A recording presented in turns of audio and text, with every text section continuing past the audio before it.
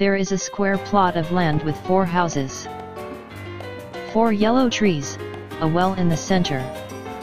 And two rows of pine trees planted across as shown in the picture. Can you divide the ground so that each householder shall have an equal portion of land? One yellow tree, an equal number of pine trees. And free access to the well without trespass.